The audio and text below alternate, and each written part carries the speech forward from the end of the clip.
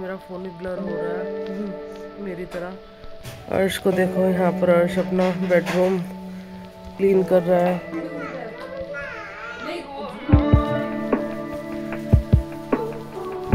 मैं ठीक नहीं थी बिल्कुल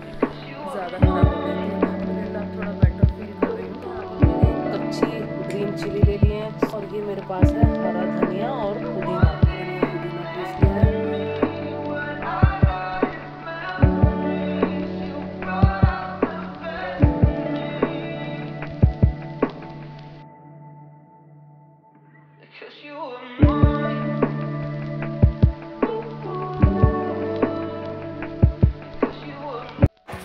मरहबा अस्सलाम वालेकुम कैसे हैं जी आप सभी लोग? उम्मीद करती हूँ कि बहुत ही अच्छे होंगे, इंशाल्लाह खैरियत से होंगे।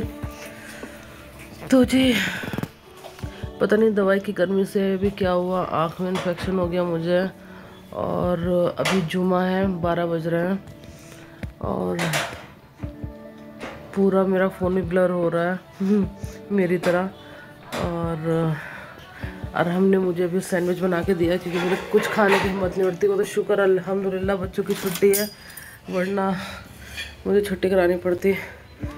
अर्श को देखो, यहाँ पर अर्श अपना बेडरूम क्लीन कर रहा है। मैं करती हूँ, वैसे बच्चे कर लेते हैं बट कभी कभी मैं बच्चों को बोलती हूँ कि नहीं करना है, क्योंकि पढ़ाई पर ध्यान देना है। हॉल की जैसी तैसी सफ़ाई करी और हमने करी है और और हमने सैंडविच बनाए थे तो और हम देखो ये सब कुछ क्लीन कर रहा है।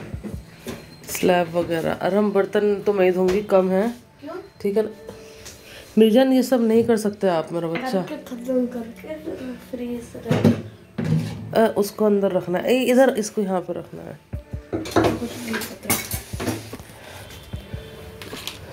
देखो पूरा चूल्हा, माशाल्लाह, कितना मेरी तरह साफ़ करा है इसने। और अभी मैं, जब इसने मुझे सैंडविच दिया था ना तो पूरा फैला पड़ा था। मैंने कहा, हम, बस आ जाओ आप किचन से, मैं रात में कर लूँगी, जब मेरी हिम्मत होगी। बट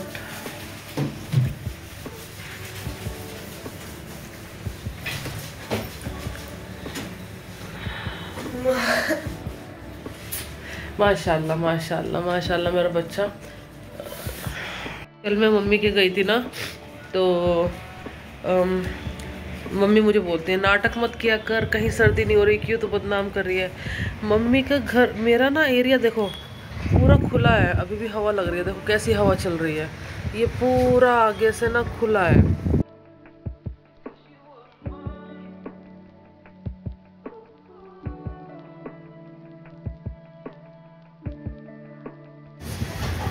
तो बस यही है कि मम्मा का घर जो है मेरी तो वो अपार्टमेंट टाइप है तो वहाँ पे थोड़ा सा गर, गर्म रहती है सामने बिल्डिंग वगैरह सब कुछ है ना आसपास में और मेरा खुला एरिया है। तो ठीक है और बाकी मैं फजर से उठी हुई थी अ, फजर से उठी हुई थी मैं फजर के लिए उठी थी छः बजे और फिर हानिया भी उठ गई थी उसको बुखार हो रहा था ना उसको भी हो गया था बुखार। तो फिर उसके बाद मैं निढाल हो गई और ज़्यादा। अभी कुछ खा रही हूँ, चाय वाय भी, उसका टेस्ट नहीं आ रहा है। आ जा मेरी जान।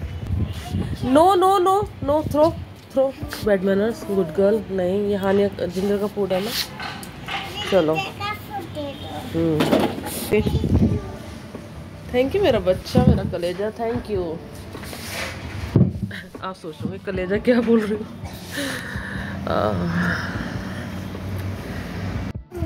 हमने चेक करता अपने के नीचे क्या क्या पड़ा हुआ है हमने आज अपने के नीचे चेक करा देखो, दो स्केल मिली, दो पेंसिल मिली और एक ऐसे ही होता है। ये सब कुछ नीचे पड़ा रहता है ना, इसीलिए।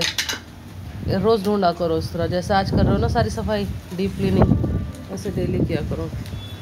किस कदर देख लो कप कपड़े हिल रहे हैं, किस कदर यहाँ पे प्लांट्स और वो सामने वाले झंडे, उधर ट्रीज पर धूप अच्छी है, मज़ा आ रहा है, मुझे सुकून मिल रहा है, वरना मैं बस पड़ी भी हूँ, लेटी भी हूँ, लेटी भी हूँ।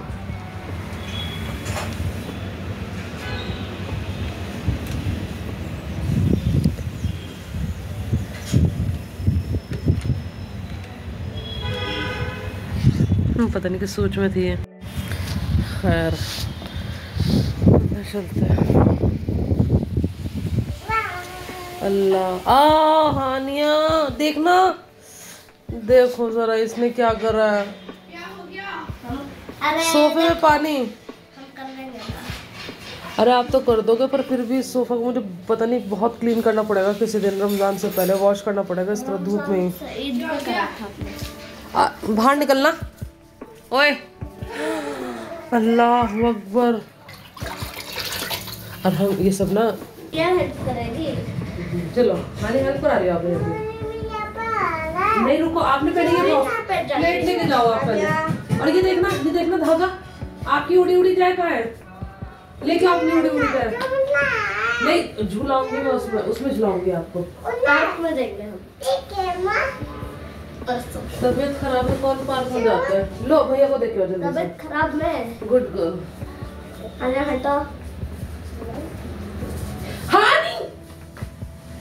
जो भैया को देखिए और ऊपर से और गिरा रही है उसमें। देखो हेलो हेलो बीन तो अच्छा। कितना वो चेक कर लिया वो चेक कर लिया। हेलो मरहबा अस्सलाम वालेकुम। कैसे हैं जी आप सभी लोग? उम्मीद करती हूँ कि बहुत ही अच्छे होंगे इंशाल्लाह खैरियत से होंगे। तो जी, अभी तक जो आपने मेरी वीडियो देखी, उसके दो दिन बाद मैं ये ब्लॉग शूट कर रही हूँ। तबीयत ठीक नहीं थी बिल्कुल भी। ज़्यादा ख़राब हो गई थी। अल्हम्दुलिल्लाह, अब थोड़ा बेटर फील कर रही हूँ। बाकी जो खाना पीना मेरा चल रहा था, वो मेरी मदर इन लॉ ने दिया बना के, नाश्ते से लेके, खाना वगैरह सब कुछ। तो अल्हम्दुलिल्लाह, वही चला, वरना मेरी इतनी भी हालत नहीं थी कि मैं कुछ उठ के कर सकूँ। सफ़ाई वगैरह कुछ नहीं हो रही थी। मेरे हस्बैंड मुझे बहुत हेल्प कर रहे थे, बच्चे। वो तो अल्लाह का शुक्र हुआ कि बच्चों की छुट्टी थी। इलेवन ट्वेल्व थर्टीन को सैटरडे था तो सैटरडे इनका एग्जीबिशन था। वो छुट्टी थी, फिर संडे हो गया। और अब मंडे को भी इनकी छुट्टी है तो बस अल्लाह का करम हो गया कि बच्चों की भी छुट्टी हो गई कि मैं सुबह को उठी नहीं। और अब जाके मैं किचन में कुछ करूँगी, मेरे किचन में कुछ खाना बनेगा। तो मैंने सोचा कि चलो ठीक है, मैं बच्चों के लिए कुछ अच्छा सा बना दूँ। और बस मैं अब बनाने जा रही हूँ, आइए देखिए मैं क्या बना रही हूँ। कुछ स्पेशल नहीं बना रही, बस अरहम का दिल था और मेरी भी थोड़ी सी हिम्मत हुई तो मैंने सोचा कि मैं सीख कबाब बना लेती हूँ। तो इस बच्चे ने मुझे बहुत हेल्प करी है बहुत ज़्यादा हेल्प करी है इसने मुझे। चाय बना के देना सैंडविचेस बना के देना। शायद अब तो मुझे याद भी नहीं कि मैंने वो शूट किया था जब आप सैंडविच बना रहे थे। शूट किया था। नहीं सैंडविच बना चुके थे आप और फिर सफ़ाई कर रहे थे। तो उसने सैंडविच बना के दिए थे। तो मैं आपको दिखा दूँ पर मैंने कच्ची ग्रीन चिली ले ली है सूखी लाल मिर्च ले ली है इसको इतने ज़्यादा नहीं डालूँगी, मैं थोड़ा कम करूँगी, क्योंकि ग्रीन चिलीज ये तेज़ वाली हैं। और ये दो मैंने प्याज कट कर लिया है, और ये मेरे पास है हरा धनिया और पुदीना। मिक्स है तो मैं इसको पीस लूँगी, दरदरा कर लूँगी, और फिर उसके बाद चिकन में मिक्स करूँगी।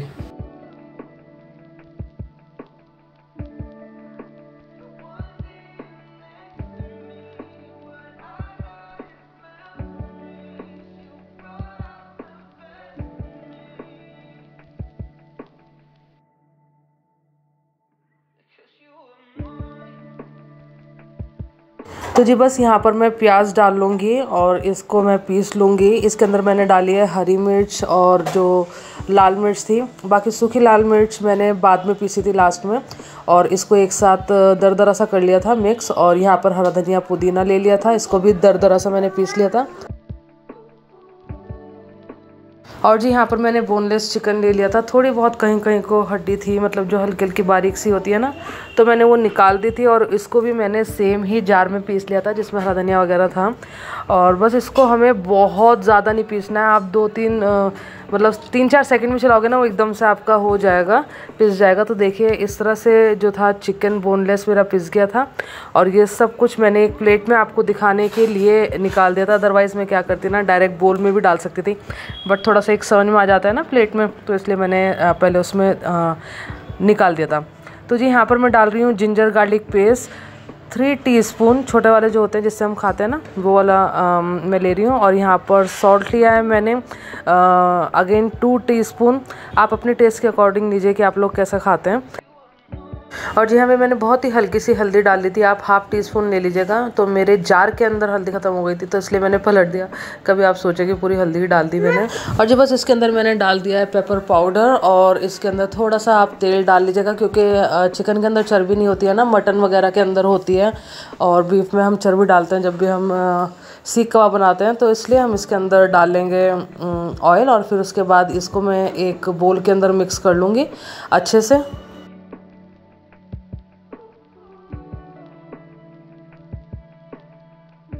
और जी, इसके अंदर मैंने थोड़ा सा डाल लिया था ब्रेड क्रम अगर आपका मतलब थोड़ा सा पानी पानी हो रहा है ना मसाले में तो आप ब्रेड डाल सकते हैं। क्रम्स नहीं है तो आप जब चिकन डाल रहे हैं, उस टाइम में ब्रेड डाल के आप उसको साथ में पीस सकते हैं। इससे जो मॉइस्चर होगा वो ख़त्म हो जाएगा।